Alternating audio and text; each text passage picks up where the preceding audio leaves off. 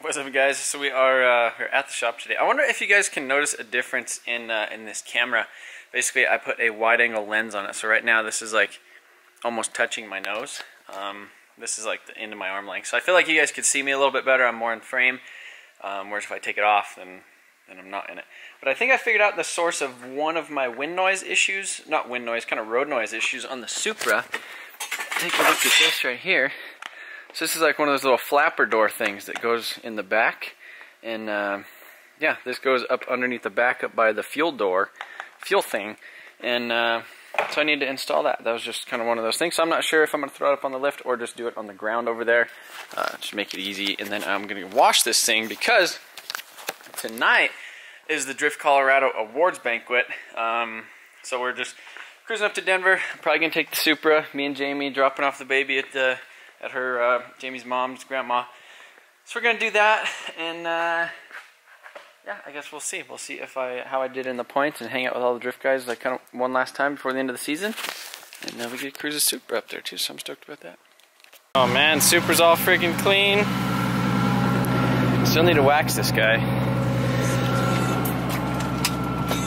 Yeah, we for a rip. Hi guys, we uh we cruising. Sun's going down. I miss the sunset kinda. Jayme's looking pretty. So what are you, Jayme? Harley Quinn. Jayme's the Harley Jayme's the Harley Quinn. I'm the Joker. Got the green hair. You can't really see the green hair though. And uh freaking Supra's cruising. Longest cruise it's been on yet. Yeah, this is the longest ever been on the highway, but it cruises really good at like uh, like 80, 87, 65. It's a little bit loud in here. Not terrible though. It's not the worst thing in the world. The thing I did earlier at the shop it helped out a little bit. There's not as much wind noise. There's like not any wind noise coming from the back now. It's comparable to Big Dirty's. No, like, it's noise it's level. it's kind of. It's like similar. it just has like It's a different sound. noise. I don't know, just like uh, I don't know. It's you guys can probably hear it. What do you hear the turbo?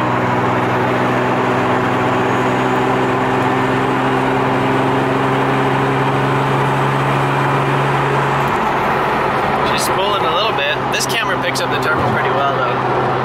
Yeah, hopefully you guys really like this uh, this wide angle lens. And we got some cool stuff here in Colorado though.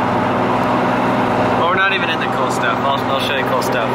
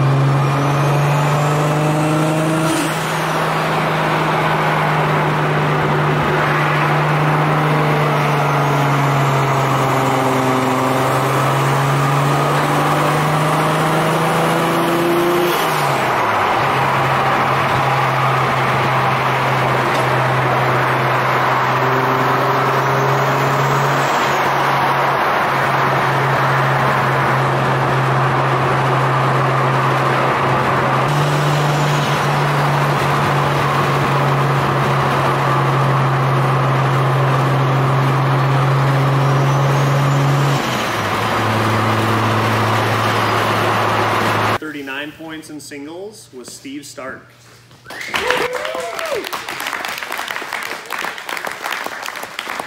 got a trophy up there. Go get your trophy. Put that beard on. See that beard? Uh, it's too sticky. And we Thank you. Sweet. Keep in mind he does that with like no practice runs. Like he gets like one or two runs and then goes into competition. Freaking out all morning. All right, so Steve had Steve finalized the season with 339 points.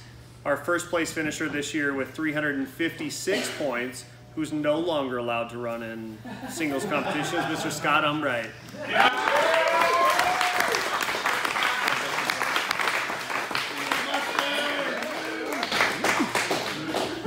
Beach. Yeah. If you haven't seen his car, it's over there. It's uh, after hours right now. It's got a full wrap from Impacted, so looks really nice, considerably different for next year. So the, the theme of this of 2019 is that if you so that leaves us fourth position with 303 points. So first, second, third, fourth all could have been decided in the last round. Like literally, it didn't make any difference in what took place up until that last round. 303 points in fourth place was Ian McDougall.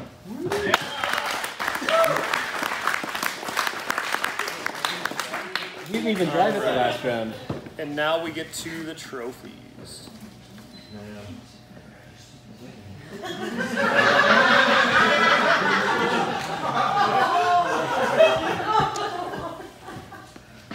Uh, so with just seven points above Ian, in third place with 310 points was Josh Love.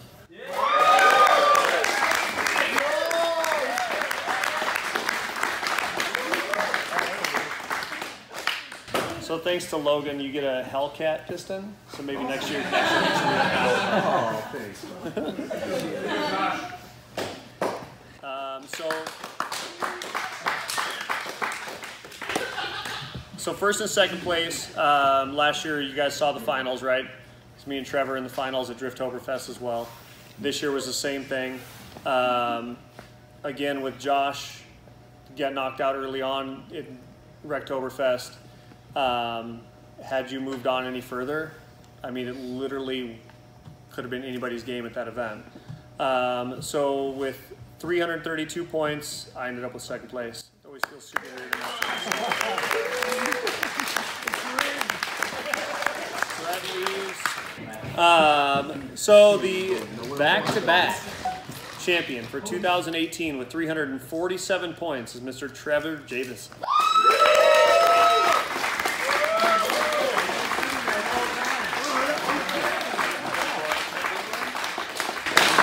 Hey, don't skip the S. Don't skip the S. Trevor helps us out big time too, because like all it takes, he's got a pretty decent following. Oh, how's that fried, Jayme? Stop! Oh! Wow, you look cute like that. You look cute. What did what did you win? Oh, is there two on there? Oh, I already peeled that off. Oh. Oh, wow, good job, honey. You peeled it off. All right, so look at this right here. 200 miles. Fuel gauge doesn't work, but the fuel light came on a minute ago, and I was like freaking out. Oh yeah, yeah, go ahead. But look what we found. We got some come and go E85, so I'm pretty stoked on that. Right now we at E70 on this friggin' can. ga- I love this can gauge. This thing is so nice. 12 gauges in one. We're gonna go try to find a car meet. Okay. Come and Alright. go yourself. Oh, dang, honey. All right, what what did they do? They lied. It lies says 70%. Minimum E70. Look what we got. 70% ethanol. Oh, E66 is going down. That is a freaking lie. I cannot believe that. It says minimum 70. Man, I thought we we had the worst E85 down where we're at. Nope. Up north, I thought there was coming up, but nope, they don't. They got that poo. They got that E poo.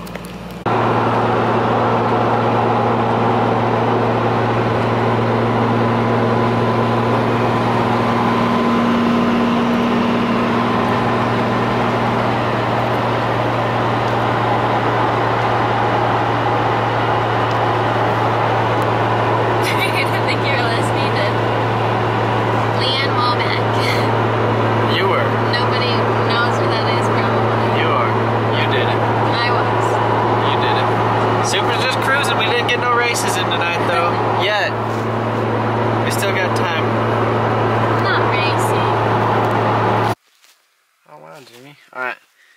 So we're back home. We parked in the garage. Garage, yeah. Just show everyone.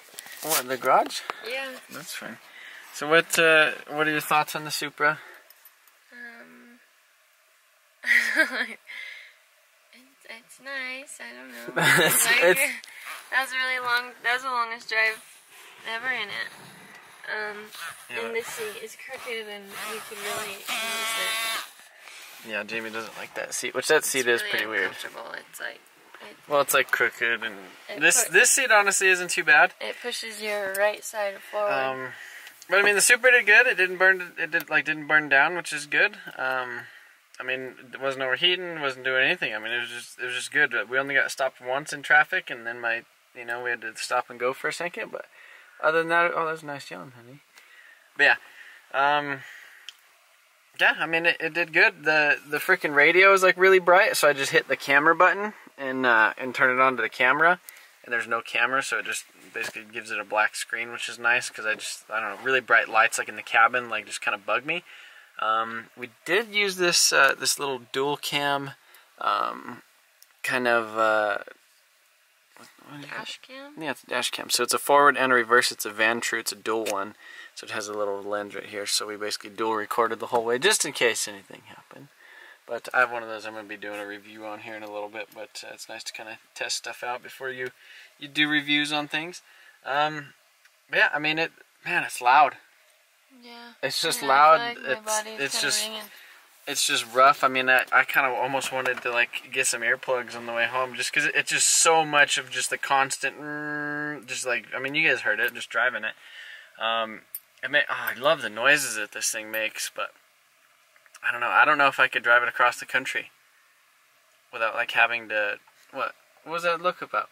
You swallowed really loud. Oh. But yeah, I don't. I really don't know if I could actually like drive it across the country. Like, I'd probably have to change some things, like put a different muffler on it. I really think a lot of it is the solid engine mounts. Because when you're in like in fifth and sixth, if you get it under a certain load, it just kind of like like the whole like thing just kind of vibrates a little bit. Um, I don't know. I guess that's about it. I'm just stoked to. Uh, I'm just stoked to do that. Oh, and I got uh, first place for the Drift Colorado uh, like tandem competition champion this year, which is sweet because I, I got it last year. So back to back. Jayme was proud of me.